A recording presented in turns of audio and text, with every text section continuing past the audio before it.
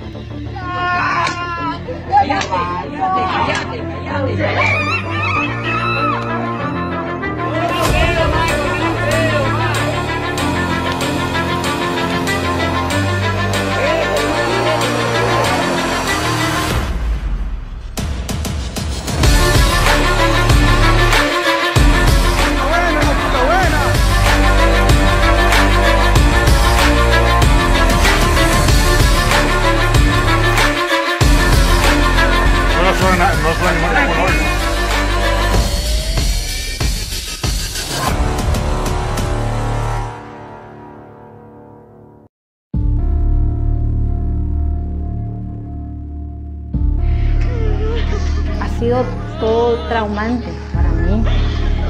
porque lo matan lo involucran en un robo, que no, manchan su imagen, manchan su nombre. Pienso de que no podemos quedarnos callados, tenemos que gritar, tenemos que de una u otra manera denunciar lo que está pasando. Su rostro es irreconocible, su rostro, su cara está irreconocible. Así expresaba su dolor la señora Margarita Mendoza, madre del joven Javier Alexander Munguía, de 19 años de edad, quien fue reportado como desaparecido el 8 de mayo del año 2018. Diez días después, encontraron su cadáver en el Instituto de Medicina Legal en Managua. Margarita Mendoza aseguraba que su hijo, por participar en protestas contra el gobierno, fue arrestado, torturado y luego asesinado durante los días que estuvo desaparecido. Fueron animales, fueron estudiantes, no delincuentes. Algunos medios de comunicación divulgaron que los responsables de su muerte eran miembros de la Policía Nacional.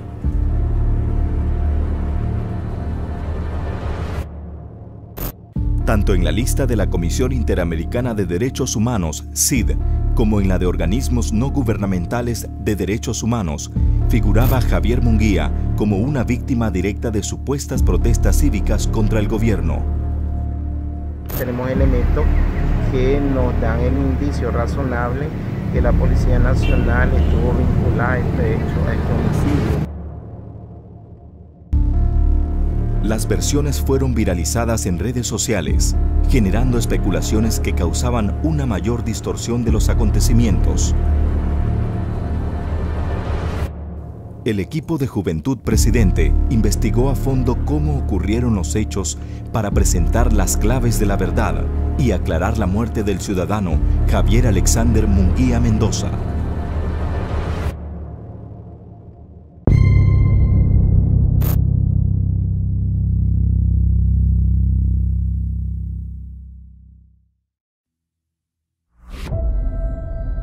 Desde abril a junio del año 2018, Managua se convirtió en un lugar con altos índices delictivos, donde grupos adversos al gobierno de Nicaragua, como forma de protesta, instalaron múltiples barricadas en varios puntos de la ciudad para aprovechar el caos y delinquir. El martes 8 de mayo, a eso de las 8 de la noche, se encontraban reunidos un grupo de jóvenes estudiantes de la Universidad Americana UAM en una casa ubicada en Residencial Los Robles de Managua. La casa era alquilada por la estudiante de medicina Giordis Lund Reyes. Esa noche estaba en el interior de la vivienda con sus amigos, Diego Andrés Hernández González, Edgar Iván Sáenz Gutiérrez y Shirley Marcela Cornejo López. En la entrada principal de la casa también se encontraban conversando sus amigos Ebdalí Alberto Fuentes Rivera y Alexa Norelli Guevara Valdivia. 8.20 de la noche. Dos sujetos en una motocicleta mensajera marca Génesis de color blanco, sin placas, se estacionaron repentinamente frente a la casa donde estaban los estudiantes. Ambos estaban con sus cascos puestos. El pasajero se bajó con una pistola en mano y apuntó a la cabeza de Alexa Guevara, quien se encontraba en la entrada con Edalí Fuentes fumando. Alexa, asustada, entró rápidamente a la casa. El delincuente fue tras ella. El estudiante Ebdalí Fuentes, quien quedó afuera de la vivienda, ingresó tras el asaltante. Se acercó por detrás golpeándole y sujetándole la mano derecha, tratando de despojarlo del arma. De inmediato, Diego Hernández intervino acercándose al delincuente por el lado izquierdo, tratando de sujetarle los brazos. Al no poder neutralizarlo, Diego dio vueltas hasta ubicarse detrás de este. El otro delincuente, al ver que su compañero está siendo despojado del arma, sale huyendo del lugar en la motocicleta. Durante el forcejeo, le logran quitar el casco. Aplicándole una llave, le colocó el brazo derecho alrededor del cuello sujetándolo entre el tórax y el cuello. A pesar de la llave, continuó el forcejeo hasta caer los tres al piso. En su caída, impactó su rostro en el suelo. Producto de la caída, Munguía resultó con hematoma en la base y lateral izquierda de la nariz, en la zona cigomática izquierda y en la zona superior izquierda del labio superior, provocándole además un sangrado. Diego continúa apretando su cuello mientras que Edgar Iván Sáenz logra despojarlo del arma de una patada. Inmediatamente deciden amarrar al delincuente para evitar que se escape. Segundos después, se percataron que el delincuente permanecía inmóvil y que no respiraba, por lo que procedieron a darle primeros auxilios. Los estudiantes ponen en una mesa el arma y también sacan del pantalón del asaltante una billetera color café, donde encontraron su cédula, identificando al asaltante como Javier Alexander Munguía Mendoza. Una de las primeras personas en enterarse del hecho fue el médico forense Hugo España, docente de la Universidad Americana Guam y maestro de los estudiantes implicados. Estoy en mi casa, ya estaba descansando, serían aproximadamente entre las 9 y las 10 de la noche, no tengo la plena hora, y recibo una llamada de una estudiante. Yo doy clases en la Universidad Americana, Juan, y de una estudiante de la universidad que está llorando, está alterada, y me comenta de que alguien se metió a la casa donde ellos estaban, estaban en una reunión de jóvenes, y les quiso asaltar. Eh, aunque yo no doy clase de medicina forense, ellos saben que soy forense, me conocen, yo siempre ando con mi gabacha que tiene el emblema del instituto y entonces me llaman para saber qué hacer. Y es cuando yo les digo, llamen a la policía. Llegamos al, lugar indicado, eh, ya estaba ahí los oficiales de la Policía Nacional encargados del estudio de la escena y la historia que cuentan los jóvenes es que un par de sujetos llegaron en una moto, ellos estaban teniendo una reunión de jóvenes platicando, comiendo, y lo encañonan y les querían robar una computadora. Y ellos se le tiran encima. Y entre varios lo agarran, forcejean, y cuando lo voltean, o estaba boca abajo, lo voltean, miran que el ciudadano no respira. Juventud Presidente, mediante investigaciones, obtuvo acceso a fotografías de esa noche donde se observa la casa que alquila Giordis Lund Reyes en Residencial Los Robles la noche del 8 de mayo. En ella yace fallecido en el suelo Javier Alexander Munguía, quien vestía una camisa de cuello azul oscura, pantalón jeans azulón, calcetines azules y azulado unas botas color café con verde, estilo militar. Su rostro se ve golpeado y en el piso manchas de sangre. En una mesa de la casa se observa el arma de fuego que usó Javier Munguía, una pistola tipo Colt calibre 32 y su billetera con documentos personales. Los vecinos de ese sector, en Residencial Los Robles, confirmaron los sucesos del 8 de mayo.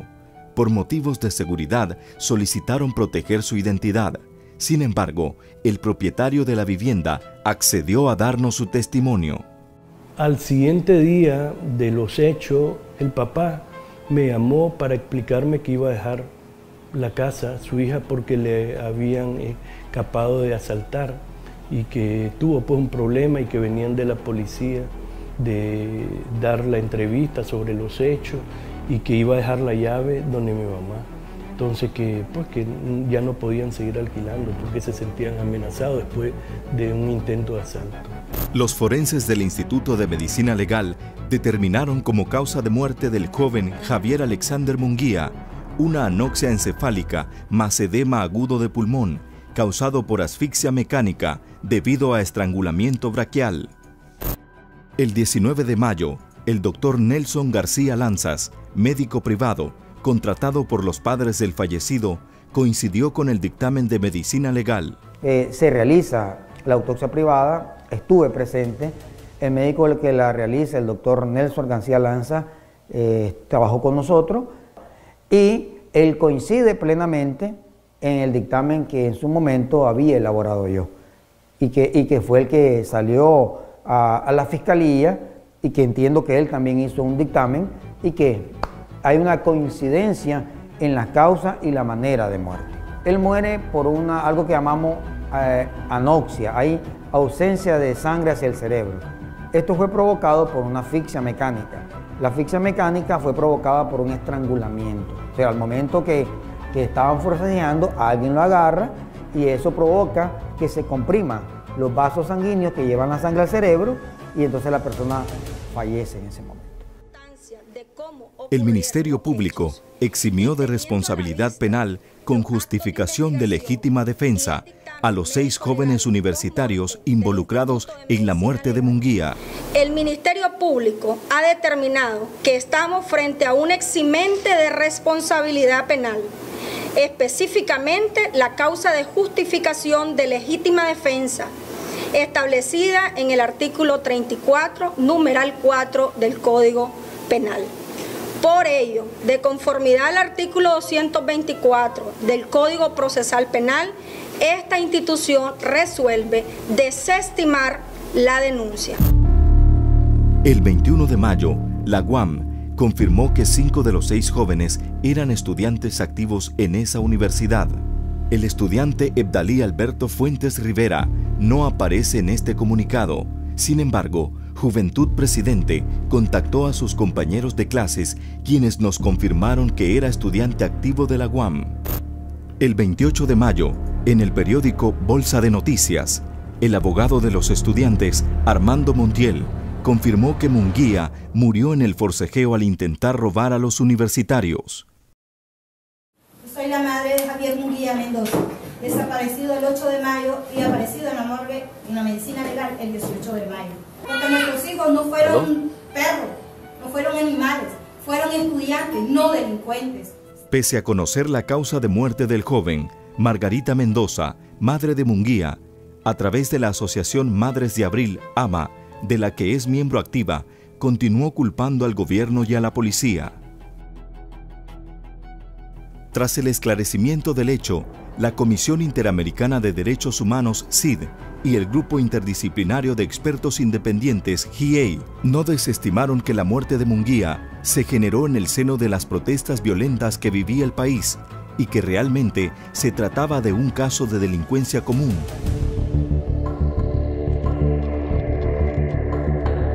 Efectos de, la, de las redes sociales, ¿verdad? Y de la manipulación de la información, y volvemos en esta guerra mediática, guerra psicológica, son...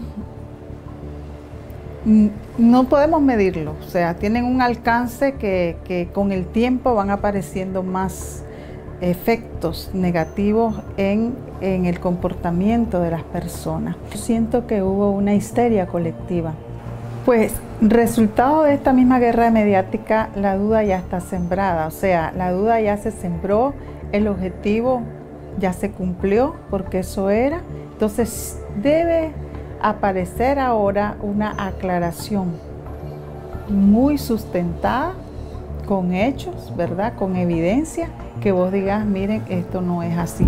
Para realizar este documental, el equipo de Juventud Presidente contactó a los involucrados en este caso para conocer su testimonio. Sin embargo, estos no accedieron por temor a represalias del delincuente que se dio a la fuga. Se entrevistó al propietario del lugar de los hechos, quien confirmó este suceso. Obtuvimos relatos de testigos claves que solicitaron guardar su identidad por su propia seguridad accedimos a informes forenses donde hay coincidencia en la causa de muerte del ciudadano Javier Alexander Munguía. Contamos con fotografías inéditas del día del suceso, donde se observa el arma del asalto y el cuerpo sin vida de Javier Munguía,